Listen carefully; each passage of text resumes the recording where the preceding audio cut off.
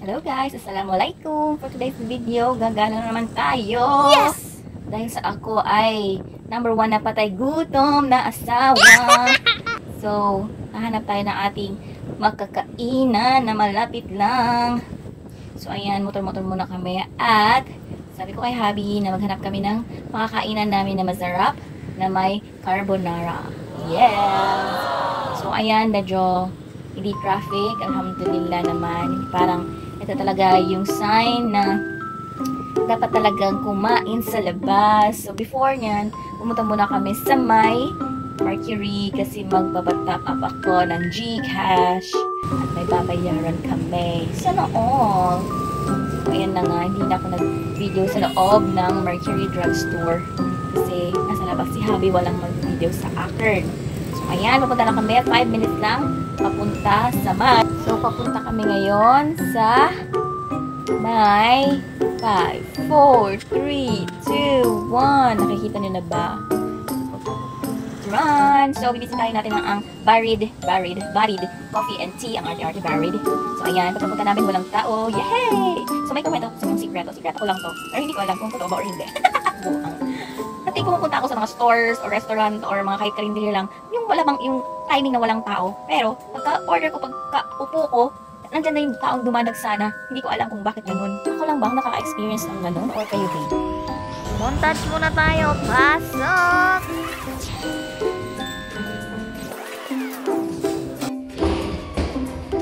So, ayan naman ang, ang kanilang menu. Yung arte, ang menu ng Barid uh, Coffee and Tea. So, yan din. May cookies din sila at rubber bar na paborito ng aking hobby.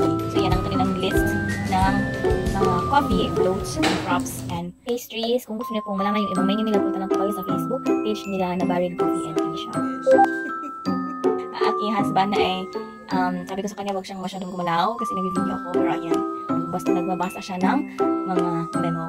So, ayan, um, konting selfie-selfie muna. Pero alam niyo ba na may...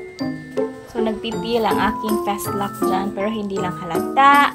So, ayun na ang aking hobby. Hindi niya na naantay ang aming order. Umorder na siya ng kanyang favorite na Rebel Bar.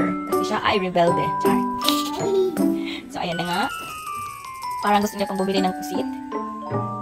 Sabi ko sa kanya, bilhin niya na. Pero hindi pa rin niya binili kasi ewan ko sa kanya. So, ayan, nagantay na kami sa aming order. So, yung in-order pala namin is um, carbonara sa kanya. Um, carbonara with choco, uh, choco frap, uh, choco frap, basta ganon. Carbonara and choco frap. Then, so, ayan na, yung rebel bar niya. Favorite yan, kahit saan kami pumunta na may rebel bar, yan lang talaga ang kakainin niya. Pero ngayon, sabi ko sa kanya, kumain yun ng carbonara. Para makatikim din ako. Diba? Sarap na sarap siya. Ayun naman yan. So, ako pag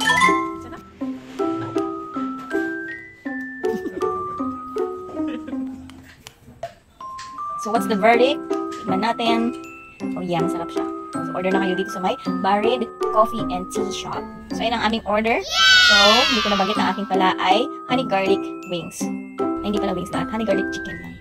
So, yung akin is matcha Oreo. Frap Oreo ang tawag ata dyan. So, ayan, tignan natin ang honey garlic chicken na hindi lang siya mukhang masarap. Masarap talaga siya. So, ayan lang sa kanya. Sabi niya kasi diet siya. At parang bad influence pa ata ako sa aking asawa. Pero, hindi niya ako binigyan. Isang subo lang sa akin dyan. Sa kanya na lahat. So, nagre-reklamo ako ngayon. Bakit sa lahat ang carbonara labla. Pero anyway, okay lang yan kasi may honey garlic chicken naman ako. Na, kinuha niya din yung isa. Pero okay lang yan. Love-love naman. Yay! So, ayan na. So, guys, narinig niyo ba sabi ni Habi? Masarap daw yan. So, ibig sabihin nun, eh, gusto na pa ng honey garlic ko. So, ayan, sabi niya hindi daw masarap. Pero, ayan, naubos niya. Naubos niya lahat, ang carbonara at ang pati ang coffee. So, ayan guys, kung gusto niyo pong matikman, yung mga kinakain namin ngayon, punta lang kayo sa may Barid Coffee and Tea. Dito po, malapit sa Suterville. Basta, pagtanong nyo na lang. So, ayan na guys, kami uuwi na. Salamat, thank you for watching. Bye!